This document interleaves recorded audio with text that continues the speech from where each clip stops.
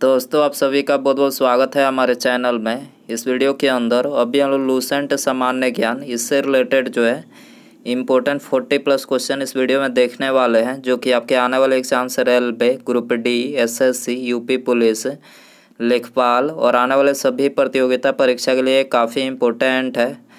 तो दोस्तों, आप इस वीडियो को बहुत ध्यान से लास्ट तक देखिए। चैनल आया है तो चैनल को सब्सक्राइब कर बेल आइकन यानी जो घंटी का निशान है उससे ज़रूर से अन कर दें। तो चलिए शुरू करते हैं। देखिए यहाँ पर हमारा पहला क्वेश्चन दिया गया है। निम्नलिखित में से कौन सा कंप्यूटर वायरस नहीं है, लेकिन मूल रूप से कंप्यूटर भाषा है? तो देखिए करेक्ट आंसर ऑप्शन ए हो जाएगा पाइथन। ठीक है, पाइथन जो है ये कंप्यूटर वायरस नहीं है, लेकिन ये मूल रूप से क्या है? तो ये मूल रूप से जो है कंप्यूटर वायरस सॉरी कंप्यूटर भाषा है। इसके अलावा यहाँ पर हमने कुछ कंप्यूटर वायरस के उदाहरण लिखे हैं, जो आपके एग्ज़ाम के लिए काफ़ी इंपॉर्टेंट हो सकते हैं। तो देखिए कंप्यूटर वायरस के उदाहरण हैं worm malware trojan horse keylogger spyware hacker cracker password cracking patch इत्यादि, ये सभी क्या है? तो ये कंप्यूटर वायरस है। क्वेश्चन नंबर टू है।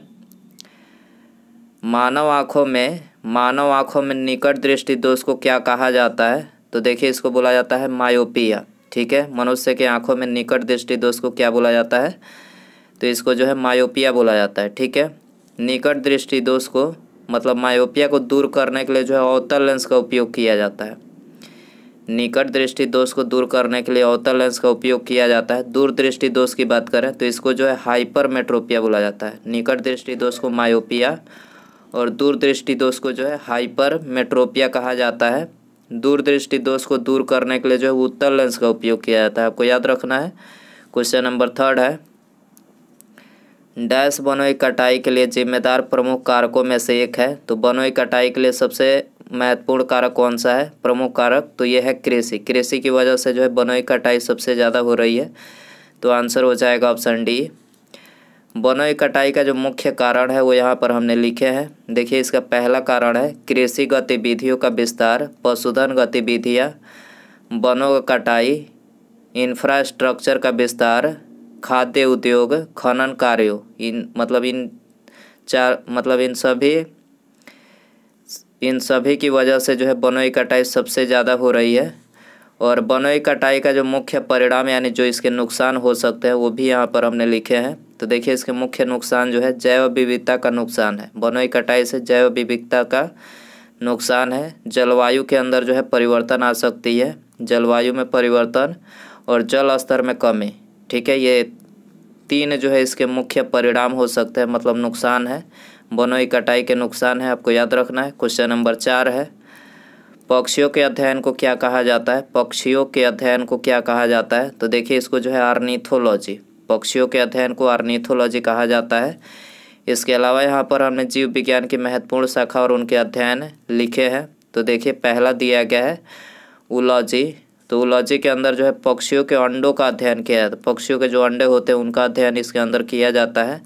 आस्टियोलॉजी की बात करें तो अस्थियों का अध्ययन इसके अंदर किया जाता है। सरपेंटोलॉजी सरपेंटोलॉजी के अंतर्गत जो है, सर्पों का अध्ययन किया जाता है। पोमोलॉजी इसके अंदर फलों का अध्ययन किया जाता है। हर्पेटोलॉजी की बात करें तो इसके अंदर जो है सरीसृपों का अध्ययन किया जाता है। क्वेश्चन नंबर पाँच है, पाचन तंत्र के चरणों का निम्नलिखित में से कौन सा अनुक्रम सही है? पाचन तंत्र के चरणों का कौन सा अनुक्रम सही है? तो करेक्ट आंसर ऑप्शन डी हो जाएगा अंत ग्रहण पाचन और शोषण, तब जो है उत्सर्जन। ठीक है तो आंसर हो जाएगा डी क्वेश्चन नंबर सिक्स है, निम्नलिखित में से कौन सा कंप्यूटर कंप्यूटर का एक हार्डवेयर घटक नहीं है? कौन सा कंप्यूटर का एक हार्डवेयर घटक नहीं है? तो करेक्ट आंसर बी हो जाएगा। मेमोरी जो है कंप्यूटर का एक हार्डवेयर घटक नहीं है। कंप्यूटर हार्डवेयर के मुख्य भाग है। इनपुट यूनिट भंडारण भंडारण यूनिट या मेमोरी तीसरा है सिस्टम यूनिट सिस्टम यूनिट के अंदर जो है मदरबोर्ड सेंट्रल प्रोसेसिंग यूनिट और प्राथमिक या मुख्य मेमोरी ये सिस्टम यूनिट के अंतर्गत आते हैं। और चौथा जो है आउटपुट यूनिट ये सभी क्या है? तो ये कंप्यूटर हार्डवेयर के मुख्य भाग है। क्वेश्चन नंबर सात है, हरे पौधे हरे पौधे और कुछ जीवाणु अपने भोजन का निर्माण स्वयं करते हैं। वे निम्नलिखित में से कौन सी पोषण प्रक्रिया अपनाते हैं? तो देखिए, ये अपनाते हैं स्वपोषी पोषण। ठीक है, स्वपोषी पोषण अपनाते हैं। आंसर हो जाएगा बी। क्वेश्चन नंबर आठ है, कंप्यूटर के बारे में निम्नलिखित में से कौन सा कथन सही है? कंप्यूटर के बारे में कौन सा कथन सही है? तो आंसर हो जाएगा डी। यह एक इलेक्ट्रॉनिक उपकरण है जो डेटा को संग्रहित, पुनः प्राप्त और और संशोधित करता है। ठीक है, यह एक इलेक्ट्रॉनिक उपकरण है जो डेटा को संग्रहित, पुनः प्राप्त और संशोधित करता है। क्वेश्चन नंबर नाइन है, किस प्रसिद्ध व्यक्ति को, किस प्रसिद्ध व्यक्ति को करो या मरो का नारा के लिए जाना जाता है? तो करो या मरो का नारा किसने दिया था? तो ये दिया था महात्मा गांधी जी ने। ठीक है, आंसर हो जाएगा ये। दोस्तों, यदि आपको वीडियो पसंद आ रहा है तो प्लीज़ वीडियो को लाइक करें, अपने दोस्तों में शेयर करें। और चैनल पर नया है तो चैनल को सब्सक्राइब करके बेल आइकन, यानी जो घंटे का निशान है, उसे ज़रूर से ऑन कर दें। इसके अलावा यहाँ पर हमने कुछ महत्वपूर्ण व्यक्ति और उनके नारे लिखे हैं, जो एग्ज़ाम के लिए इम्पोर्टेंट हो सकते हैं। देखिए, पहला जो नारा दिया गया है, ज़िंदगी तो अपने दम पर ही जी जाती है। ज़िंदगी तो अपने दम पर जी जा जी जाती है। दूसरे कंधों पर तो सिर्फ़ जनाजे उठाए जाते हैं। ये कथन मतलब यह नारा किसने दिया था? भगत सिंह ने। आज़ादी मिलती नहीं है, बल्कि इसे छीनना पड़ता है। आज़ादी मिलती नहीं है, बल्कि इसे छीनना पड़ता है। ये नारा किसने दिया था? सुभाष चंद्र बोस ने दिया था। सरफरोशी की तमन्ना अब हमारे दिल में है। सरफरोशी की तमन्ना अब हमारे दिल में है। देखना है ज़ोर कितना बाजुए कातिल में है। ये नारा किसने दिया था? बिस्मिल अजीमाबादी ने दिया था। मैं आज़ाद था, मैं आज़ाद हूँ और आज़ाद ही रहूँगा। मैं आज़ाद था, मैं आज़ाद हूँ और आज़ाद ही रहूँगा, ये नारा किसने दिया था? चंद्रशेखर आज़ाद ने दिया था। क्वेश्चन नंबर दस है। एकमात्र पक्षी का नाम बताइए जो पीछे की ओर उड़ सकता है। एकमात्र पक्षी का नाम बताइए जो पीछे की ओर उड़ सकता है। तो हमिंग बर्ड हमिंग बर्ड जो है ये पीछे आए बाएँ दाएँ मतलब चारों तरफ़। आगे, पीछे, आए बाएँ, दाएँ दाएँ बाएँ, चारों तरफ़ जो है, ये उड़ सकता है। ठीक है? तो याद रखना है हमिंग बर्ड हमिंग बर्ड को जो है गुंजन पक्षी भी कहते हैं। हमिंग बर्ड को क्या बोलते हैं? गुंजन पक्षी कहते हैं हमिंग बर्ड की उत्पत्ति दक्षिण अमेरिका में हुई थी। हमिंग बर्ड की उत्पत्ति कहाँ हुई थी? दक्षिण दक्षिण अमेरिका में हुई थी। हमिंग बर्ड जो है, ये तो हमने अभी बताया, आगे, पीछे, दाएँ, बाएँ, किसी भी दिशा में जो है, उड़ सकती है। क्वेश्चन नंबर ग्यारह है। डैश पूरी तरह से भारतीयों द्वारा प्रबंधित पहला बैंक था। डैश पूरी तरह से भारतीयों द्वारा प्रबंधित पहला बैंक था। तो ये पंजाब नेशनल बैंक था, ठीक है? तो करेक्ट आंसर ऑप्शन सी हो जाएगा। क्वेश्चन नंबर ट्वेल्व है। उन्नीस सौ सोलह में कांग्रेस के लखनऊ अधिवेशन में नरमपंथी और चरमपंथी दोनों विचारधारा के नेता एकजुट हुए थे। इसकी अध्यक्षता डैश ने की थी। तो इसकी अध्यक्षता जो है अंबिका चरण मजुमदार ने किया था। ठीक है करेक्ट आंसर ऑप्शन ए हो जाएगा।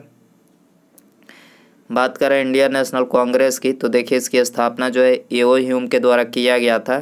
भारतीय राष्ट्रीय कांग्रेस के पहले अध्यक्ष पूछा जाए तो डब्ल्यू सी बनर्जी, यानी बेमेश चंद्र बनर्जी थे अखिल भारतीय कांग्रेस की प्रथम महिला अध्यक्ष पूछा जाए तो एनी बेसेंट। याद रखना है, निम्नलिखित में से किस विद्वान ने ज्योग्राफी शब्द सृजित किया था? ज्योग्राफी शब्द इरेटोस्थनीज ने दिया था। ज्योग्राफी शब्द किसने दिया था?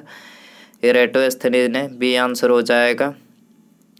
फारसी विद्वान अलबरूनी, अफ़गानिस्तान और भारत पर हमले के दौरान किस आक्रमणकारी के साथ था?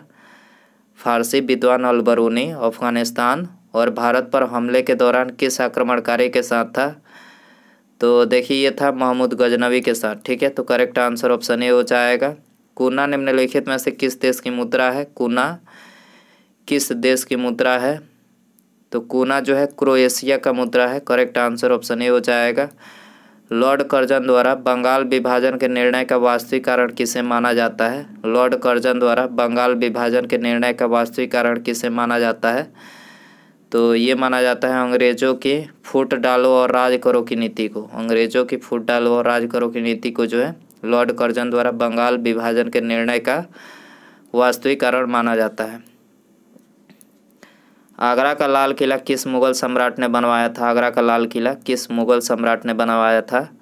तो ये अकबर ने बनवाया था, ठीक है? करेक्ट आंसर डी हो जाएगा। निम्नलिखित में से कौन सा एक अंतर्राष्ट्रीय संगठन नहीं है? तो अंतर्राष्ट्रीय संगठन जो है, ये रक्षा अनुसंधान और विकास संगठन, यानी defence research and development organisation जो है ये मतलब अंतर्राष्ट्रीय संगठन नहीं है। क्वेश्चन नंबर उन्नीस है, किस पेड़ को काटने पर खून निकलता है? किस पेड़ को काटने पर जो है खून निकलता है?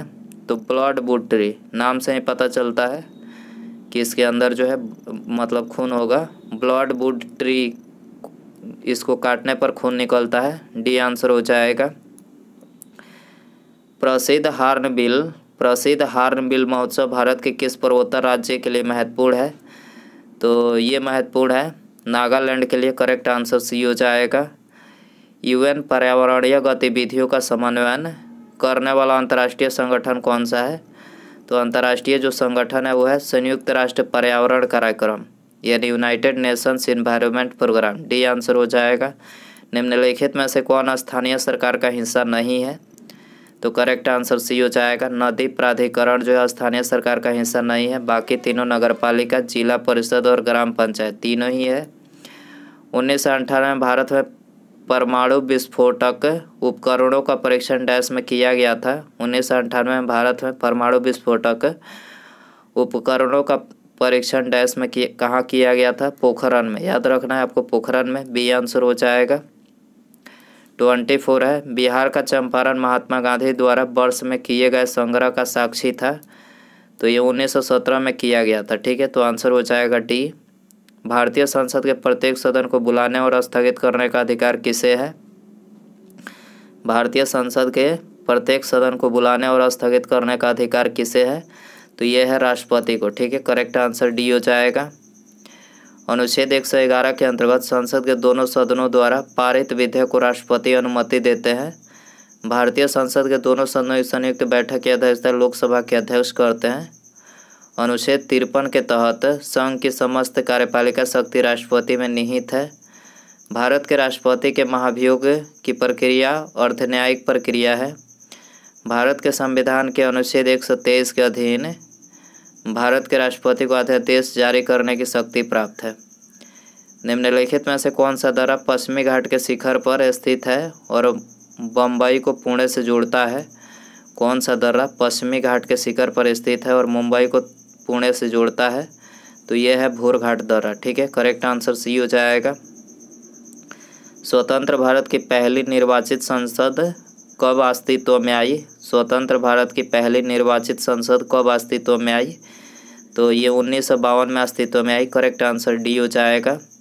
हड़प्पा सभ्यता की मोहरों पर कौन सा पशु अक्सर देखा जाता है? हड़प्पा सभ्यता की मोहरों पर कौन सी पशु अक्सर देखा जाता है? तो ये बैल बैल देखा जाता है करेक्ट आंसर ये हो जाएगा। पुस्तक द पुस्तक the test of my life. The test of my life किसके द्वारा लिखी गई है? तो देखिए, ये लिखा गया है युवराज सिंह के द्वारा। करेक्ट आंसर बी हो जाएगा। निम्नलिखित में से कौन सी रेलवे लाइन अरब सागर के समानांतर चलती है? अरब सागर के समानांतर कौन सी रेलवे लाइन चलती है? तो ये चलती है कोंकण रेलवे लाइन। ठीक है करेक्ट आंसर डी हो जाएगा। निम्नलिखित में से किस राज्य में रेलवे लाइनों की लंबाई किलोमीटर में सबसे अधिक है? तो किलोमीटर में सबसे अधिक जो है उत्तर प्रदेश है। ठीक है करेक्ट आंसर सी हो जाएगा। राष्ट्रपति किस समुदाय के दो सदस्य को, राष्ट्रपति किस समुदाय के दो सदस्यों को लोकसभा में नामांकित कर सकता है। तो एंग्लो इंडियन समुदाय के दो सदस्यों को जो है, राष्ट्रपति लोकसभा के लोकसभा में नामांकित कर सकते हैं, ये आंसर हो जाएगा। भारत के सर्वाधिक क्षेत्र पर किस मिट्टी का विस्तार पाया जाता है? किस मिट्टी का विस्तार सर्वाधिक क्षेत्र पर पाया जाता है भारत के? तो ये तो ये पाया जाता है जलोढ़ मिट्टी का विस्तार। याद रखना है, जलोढ़ मिट्टी का विस्तार सर्वाधिक पाया जाता है, चौंतीस है। सूची फ़र्स्ट के साथ सूची सेकंड को सुमेलित करके सही कुट चुनिए। तो यहाँ पर सूत्र और दूसरी तरफ़ उसके सामान्य नाम दिया गया है। तो देखिए, पहला जो है सी ए ओ सी एल टू तो सी ए ओ सी एल टू की बात करें तो ये ब्लीचिंग पाउडर का सूत्र है। C A S O four dot one by two S two O जो है, ये किसका सूत्र है? तो ये प्लास्टर ऑफ़ पेरिस का सूत्र है। N A two C O three dot ten H two O जो है, ये वॉशिंग सोडा का सूत्र है। याद रखना है। सूर्य में ऊर्जा के उत्पादन की प्रक्रिया का नाम है। सूर्य में ऊर्जा के उत्पादन की प्रक्रिया का नाम है। तो इसका नाम है नाभिकीय संलयन। क्या है? नाभिकीय करेक्ट आंसर सी हो जाएगा। ऋग्वैदिक आर्य निम्नलिखित में से किस भाषा का प्रयोग करते थे? ऋग्वैदिक आर्य जो थे, ये किस भाषा का प्रयोग करते थे? संस्कृत भाषा, ठीक है? करेक्ट आंसर ये हो जाएगा। एक इलेक्ट्रॉन वोल्ट में कितने एक इलेक्ट्रॉन वोल्ट इनमें से कितने जूल के बराबर होता है? तो ये वन पॉइंट सिक्स गुना दस के पावर उन्नीस के बराबर होता है, ठीक है? बी आंसर हो जाएगा। भारत से व्यापार संबंध स्थापित करने वाले प्रथम यूरोपियन कौन थे? प्रथम यूरोपियन व्यापार संबंध स्थापित करने वाले पुर्तगाली थे, ठीक है? करेक्ट आंसर ऑप्शन ए हो जाएगा। मनुष्य के मुख में इनमें से कितनी जोड़ी लार ग्रंथि पाई जाती है? मनुष्य के मुख में इनमें से कितनी जोड़ी लार ग्रंथि पाई जाती है? तीन जोड़ी लार ग्रंथि पाई जाती है। करेक्ट आंसर सी हो जाएगा। उसके बाद यहाँ पर हमारा अगला क्वेश्चन है। गवर्नर द्वारा जारी किया गया अध्यादेश इनमें से किसके द्वारा मंजूर किया जाता है? तो देखिए यहाँ पर आपके लिए ऑप्शन ये आपके लिए होमवर्क क्वेश्चन रहेगा। ऑप्शन है, राष्ट्रपति द्वारा, विधान परिषद के मंत्रियों द्वारा विधानमंडल द्वारा या फिर उपयुक्त सभी। तो इसमें आपको बताना है कि गवर्नर द्वारा जारी किया गया अध्यादेश इनमें से किसके द्वारा मंजूर किया जाता है? तो दोस्तों, यदि आपको इसका आंसर पता हो तो कमेंट बॉक्स में ज़रूर बताएँ। और चैनल पर आया है तो चैनल को सब्सक्राइब करके बेल आइकन यानी जो घंटे का निशान है उसे ज़रूर से ऑन कर दें और वीडियो पसंद आया हो तो प्लीज़ वीडियो को लाइक करें, अपने दोस्तों में शेयर करें और चैनल पे मतलब चैनल पर आया है तो चैनल को सब्सक्राइब ज़रूर करें। ठीक है, मिलते हैं अगले वीडियो में। नमस्कार, जय हिंद, जय भारत।